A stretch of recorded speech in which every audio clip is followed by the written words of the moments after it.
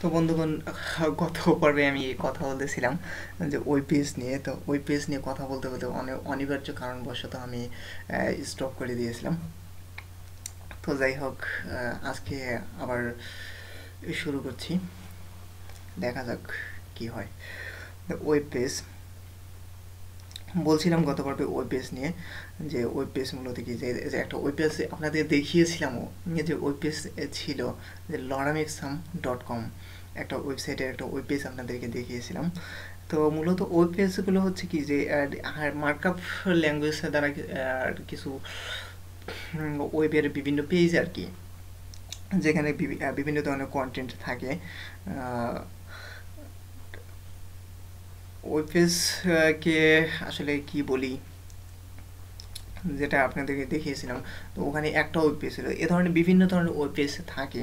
যেমন হচ্ছে কি যে পার্সোনাল হোম পেজ ব্যবসায়িক হোম পেজ তারপরে হচ্ছে যে লগ ইন পেজ আমি হ্যাঁ আমি যদি হচ্ছে যে ফেসবুকে যাই ফেসবুক ডট কমে এখানে ঢুকেছি, এখানে দেখা যাচ্ছে যে লগ ইন করার জন্য হ্যাঁ ইমেল ওর ফোন পাসওয়ার্ড দেওয়ার জন্য। এই যে, এটা হচ্ছে যে, এটা হচ্ছে যে একটা লগ ইন পেজ এটা কার লগ ইন পেজ ফেসবুকের লগ ইন পেজ তো এখানে যদিও এখানে লগ ইন এবং সাইন আপ দুটোই দেওয়া হয়েছে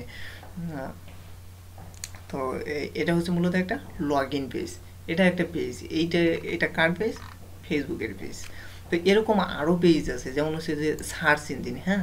সার্চ ইঞ্জিন গুগল ডট কমে যদি আসি, সেই গুগল ডট কমে এখানে দেখা যাচ্ছে যে সার্চ ইঞ্জিন গুগলের সার্চ ইঞ্জিনটা এখানে আছে।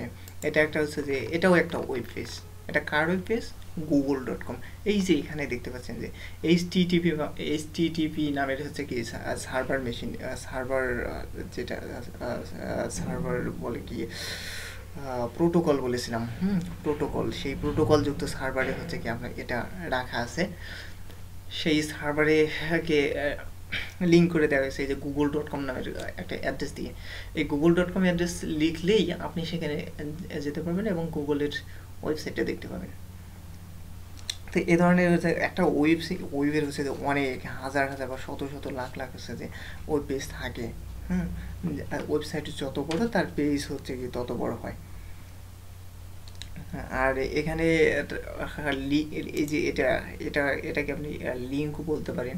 আবার এটা এটা একটা লিঙ্ক আবার এটা হচ্ছে কি? ওয়েব অ্যাড্রেস ওয়েব অ্যাড্রেস তো ওয়েব অ্যাড্রেস হচ্ছে এখান থেকে এই যে গুগল ডট কম লেখা পর্যন্ত, এটা হচ্ছে আপনি যদি এই পুরোটা যদি হচ্ছে কি যে কেটে দেন, এই পুরোটা যদি হচ্ছে কেটে দেন, তারপরে হচ্ছে যে এখানে যাওয়া যাবে হুম?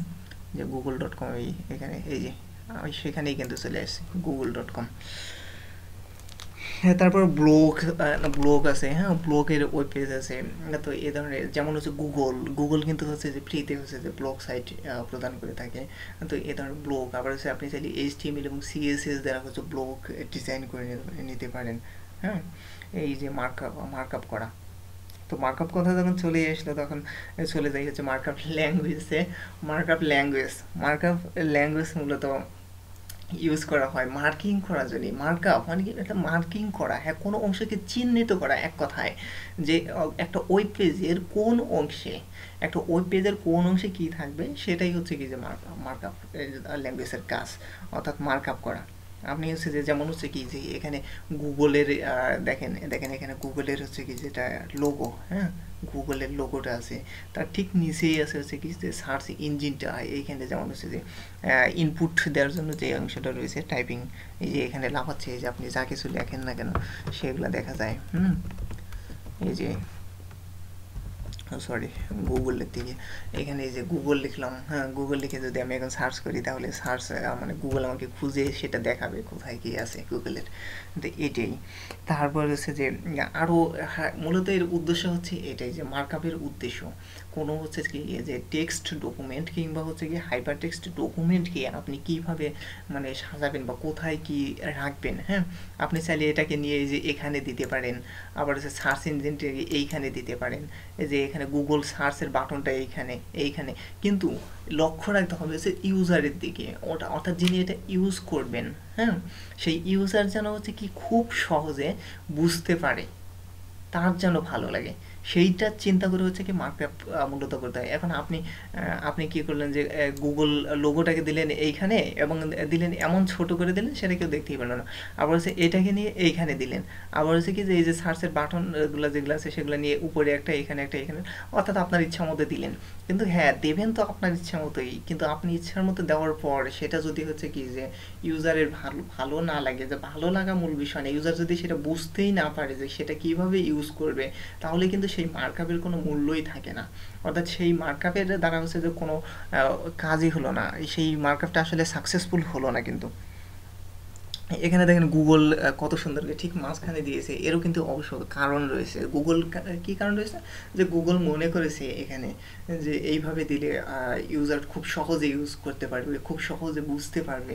হ্যাঁ এটাই হচ্ছে যে এর উদ্দেশ্য। অর্থাৎ মার্কআপের উদ্দেশ্যই হচ্ছে এইটা।